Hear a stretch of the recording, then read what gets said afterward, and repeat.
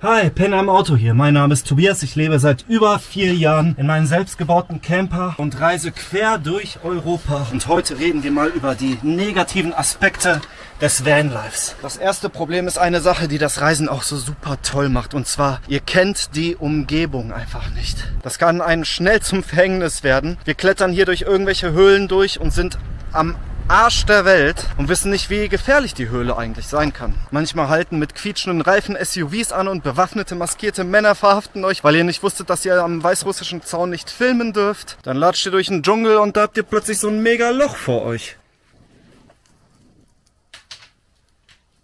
Das sind alles Sachen, die euch zum Verhängnis werden können. Ihr müsst ja ständig irgendwelche unbekannte Straßen entlang navigieren, mit Gefahren, die ihr nicht kennt. Oder ganz bekannt ist das Problem mit den Parkplätzen. Wir wissen ja jetzt nicht, wie sicher es hier eigentlich ist. Wir sind in Stiges, das ist das Saint-Tropez Spaniens. Ich laufe jetzt auch zum allerersten Mal hierher. Das scheint eine sehr ruhige Umgebung zu sein. Aber zu 100 Prozent weiß ich das auch nicht. Ob mein Auto hier gleich aufgeknackt wird oder sowas. Das ist beim Reisen natürlich der Reiz, unbekannte Orte zu besuchen. Aber wenn man nicht auf Trab bleibt, dann kann es einem zum Verhängnis werden. Man muss irgendwie ständig so ein bisschen aufpassen. So, wir müssen jetzt aber Lana suchen, die treibt sich auch hier irgendwo herum. Der nächste Punkt, der wirklich an mir nagt, wo ich wirklich gemerkt habe, dass das ein echtes Problem ist, ist der Verschleiß. Der Verschleiß von euren Klamotten, der Verschleiß von euch, der Verschleiß von eurem Auto. Wir sprachen ja eben darüber, dass man ständig in unbekannten Orten herumrennt. Und ich kann euch nicht aufzählen, wie oft ich schon hier an so einer scheiß Bordsteinkante hängen geblieben ist, weil die irgendwie raushängt, was in Deutschland nie vorkommt. Die Welt ändert sich halt ständig. Die macht eure Klamotten einfach mehr kaputt. Denkt ihr, ich habe heute Morgen gewusst, dass ich heute an einem Strand lande? Nein, ich habe vollkommen falsche Klamotten an. Wie oft ich schon mit den Schuhen durch irgendwelche Berge gelatscht bin. Da gehen sie natürlich auch kaputt bei. Muss jetzt hier irgendwelche Steine hochlaufen, um Lana zu finden. Aber ah, ich glaube, da hinten ist sie. Hallo. Natürlich kann man das Ganze zu einem gewissen Grad planen, aber Vanlife packt auf jeden Fall ein ganzes Stück Chaos in euer Leben rein. Und so kommt es, dass ich jetzt in Unterhose schwimmen gehe, was dann auch wieder meine Klamotten belasten wird, weil die Feuchtigkeit auf sich die Hose überträgt und dann die ganzen Textilien zusätzlich strapaziert. Macht das 100 Mal und ihr habt kaputte Klamotten. Hier haben wir ja ein sehr gutes Beispiel. Ich habe hier eine Wunde, die ich mir irgendwo geholt habe. Das kommt von einer unbekannten Gegend. Es ist natürlich irgendwo Verschleiß an meinem Körper. Mal gucken, ob das eine schöne Narbe gibt. Der Körper hat ja was, das nennt sich den posttraumatischen Wachstum. Das heißt, wenn er kaputt geht, dann repariert repariert er sich und wird sogar an der Stelle stärker. Das haben die Klamotten jedoch nicht. Also ist man ständig damit beschäftigt, sich neue Klamotten zu holen oder halt welche zu reparieren, wie im Roomtour-Video gezeigt mit der Textilhexe. Dann gibt es noch den Verschleiß am Fahrzeug. Mir ist zum Beispiel vor kurzem mein scheiß Solarpanel geplatzt. Es hat plötzlich fürchterlich laut gescheppert. Ich dachte, irgendjemand hätte einen dicken Stein auf mein Auto geworfen. Dann bin ich oben drauf geklettert und habe gesehen, dass die Hartbeschichtung oben drauf komplett gesprungen ist. Wahrscheinlich wegen der Hitze. Aber auch das Fahrzeug hat natürlich einen immensen Verschleiß, wenn man durch unbekannte Gegenden fährt. Die Bremsen muss ich auf jeden Fall öfters wechseln, weil man plötzlich voll in die Eisen gehen muss. Die Vorderräder muss ich natürlich schon mal wechseln. Wie im Roomtour-Video bereits erwähnt, muss ich den Kraftstoffdruck Druckventil vorne wechseln, weil ich im Balkan dreckigen Sprit getankt habe. In Nordmazedonien musste ich dieses hintere Fenster wechseln, weil ich rückwärts in eine Parklücke reingefahren bin und nicht gesehen habe, dass da eine fette Stange raushängt. Total ärgerlich. Und auch andere Beulen, wie hier in Griechenland, habe ich einen Baum mitgenommen, weil man draußen im unbekannten Terrain die unterschiedlichste Hindernisse meistern muss. Das hat natürlich einfach allgemein einen großen Verschleiß am Fahrzeug selber. Bei der Fahrt fliegt im Auto auch immer alles rum. Ich kann euch gar nicht sagen, wie oft mein Laptop schon auf den Boden geballert ist. Da ist so ein selbst ausgebauter Camper übrigens ganz klar im Vorteil. Dann wenn ihr euch so einen Fertigcamper holt und irgendwas kaputt geht, dann wisst ihr weder, was kaputt ist, noch wisst ihr, wie ihr es reparieren könnt. Und jetzt kommt der Oberknaller. Wenn ihr die Garantien beanspruchen wollt, dann müsst ihr erstmal nach Deutschland zurückfahren, was Wochen oder Monate dauert. Ihr fahrt dann ständig mit einem kaputten Auto herum. Und ich kann euch nicht sagen, wie oft ich davon gehört habe, dass die Firmen dann sagen, ja, das ist ein Problem des Zulieferers, wir haben die Teile gerade nicht oder wir sind total ausgelastet. Die Wartezeit zur Reparatur dauert einen Monat. Und deswegen ist der selbst ausgebaute Camper einfach besser, weil es wird etwas kaputt gehen, weil der Verschleiß ist einfach hoch. Was geht denn hier schon wieder ab? Ey, das Leben macht mich echt fertig. Mama's coming, are you ready? Any straight people here tonight? Yeah!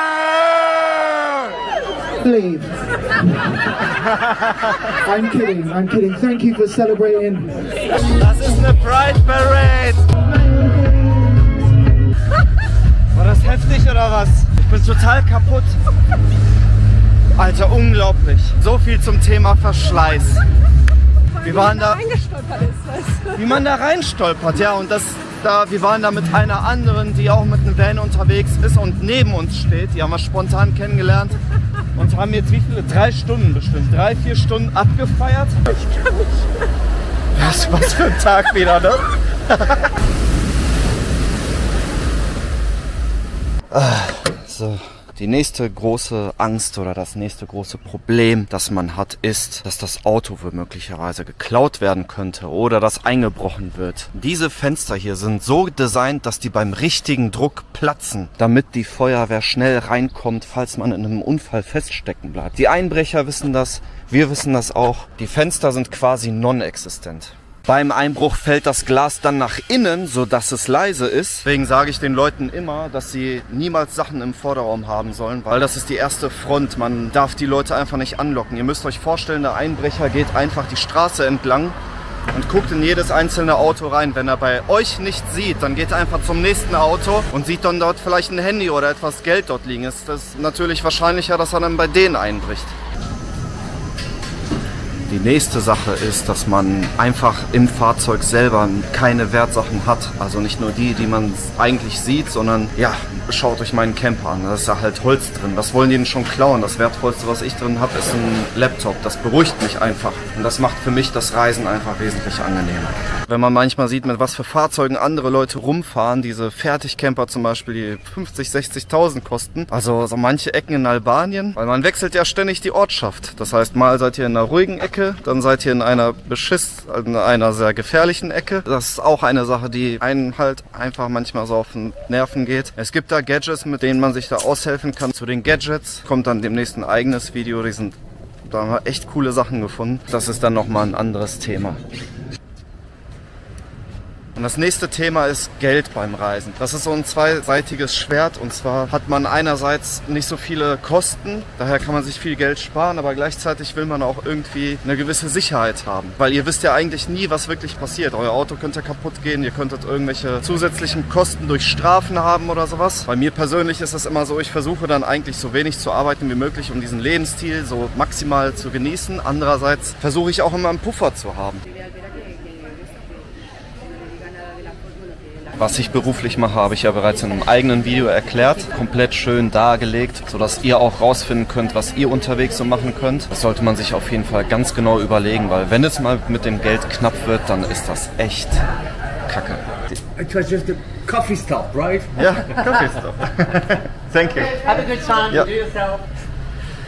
Und die letzte Sache, über die wir reden, ist die Gesundheit. Da gibt es die Themen Krankenversicherung oder diese Auslandsversicherung. Wenn man außerhalb der EU ist, dann kann man auch die deutsche Versicherung pausieren und hat dann eine super günstige Versicherung. Auch ist es je nachdem, welche Aktivitäten man hat, dass man sich unterschiedliche Verletzungen zufügen kann, Beine brechen kann und so. Aber das weiß ja jeder für sich selber. Was beim Reisen aber ein Riesenproblem ist zum Thema Gesundheit, ist die heißgeliebte Lebensmittelvergiftung. Olla, da muss man wirklich drauf aufpassen. Da muss man nicht nur aufpassen, in welche Läden man geht, sondern man kann die natürlich auch beim selber Kochen bekommen, wenn die Milch zum Beispiel schlecht wird. Man spürt es, wenn man die Packung ein bisschen wackelt, wenn sie so cremig wird oder stinkt. Oder was auch überraschenderweise total unbekannt ist, ist Botulismus. Wenn man zum Beispiel Knoblauch in Öl anbrät und das einfach mal drei Tage stehen lässt, entsteht einer der schlimmsten Gifte für den menschlichen Körper. Das ist wie verdorbenes Fleisch. Ein Riesenproblem. Man muss immer darauf achten und das kann euch total vermiesen. Ich krieg oft die Frage, was mache ich bezüglich der Toilette, wenn ich mal Durchfall habe. Hatte ich bisher noch nicht. Toi, toi, toi, was denn? Aber ich denke mal, gerade mit einem Auto hat man es da besonders leicht. Da würde ich mich dann einfach irgendwo hinstellen, wo ich mein Klo immer wieder entleeren kann. Notfalls kann man auch einfach nach vorne springen und ins Krankenhaus fahren. Da habe ich jedoch leider noch keine Erfahrungen gemacht. Oder ist besser so, dass ich da keine Erfahrung gemacht habe. Oder zu Hause hat man ja eigentlich immer alles unter Kontrolle. Man isst ja immer von denselben Quellen, man isst immer dasselbe Essen. Aber draußen, wenn ihr durch Europa zieht, könnt ihr euch vorstellen, ihr esst ständig komplett andere Sachen. Ihr habt das eigentlich gar nicht unter Kontrolle, was ihr euch da in den Mund schiebt. Und kann nicht überall reingucken, wie die ganzen Küchen aussehen und sowas.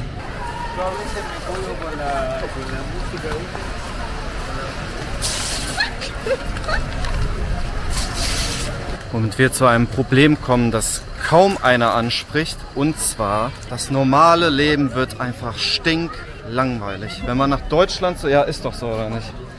Wenn man nach Deutschland zurückkommt, wird alles grau.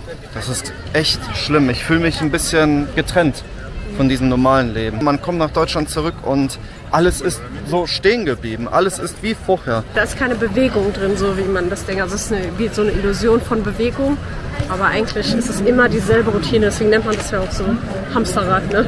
Ja, Hamsterrad. Das ist gut, ne? Hamsterrad. Echt. Deswegen ist das ja für mich auch ein bisschen so eine Qual, zurückzukehren. Wenn ich in Deutschland bin, dann will ich eigentlich nur alles geregelt bekommen, um wieder loszufahren. Ich glaube, es ist auch die Kultur. Guck dir das an. Und wenn du hier nach Hause hinkommen würdest, das ist einfach eine andere Lebensqualität. Und die Menschen sind auch einfach viel wärmer und offener und nicht so gestresst von ihrem Alltag. Überall, wo die Menschen zu viel arbeiten und es keine richtige Balance gibt, glaube ich, ist das Leben nicht so, nicht so toll.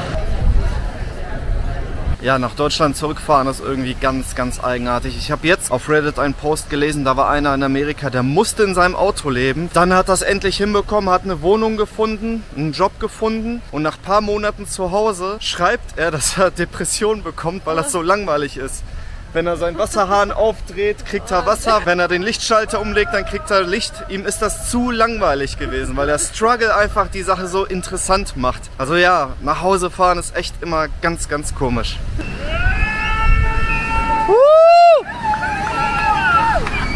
Ach, die da, aber die beiden da. Wir schreien einfach mit.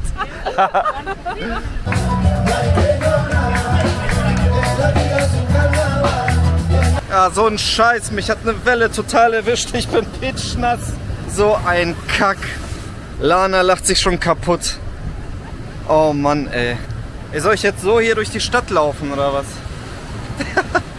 Ah, jetzt filmt sie mich durchgehend. Was ich sagen wollte ist, und die letzte Sache, die beim Vanlife vielen Leuten gewaltig auf die Nerven geht, was auch herzzerbrechend ist, ist, dass man die Leute, die man kennenlernt, ständig verliert. Jetzt vor ein paar Tagen haben wir Alia, Tim und Nelly kennengelernt. Drei Deutsche, wir haben Feuerchen gemacht, gesungen, gegessen, es war wunderbar. Aber dann mussten die weiterfahren, weil die in zwei Wochen in Valencia sein müssen. Und das ist immer wieder so herzzerbrechend. Mit manchen Leuten hält man länger Kontakt, aber meistens verflüchtigt sich dann der Kontakt, weil man unterwegs dann eh ständig neue Leute kennenlernt. Man ändert nämlich sein Verhalten.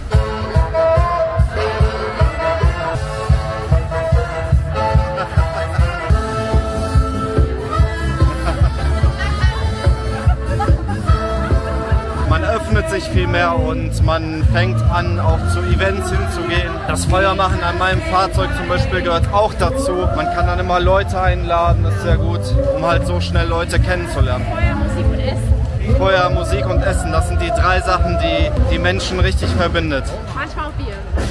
Manchmal auch Bier. Ja. Aber das ändert nichts daran, dass ihr halt immer wieder Leute verliert, die ihr sehr mögt.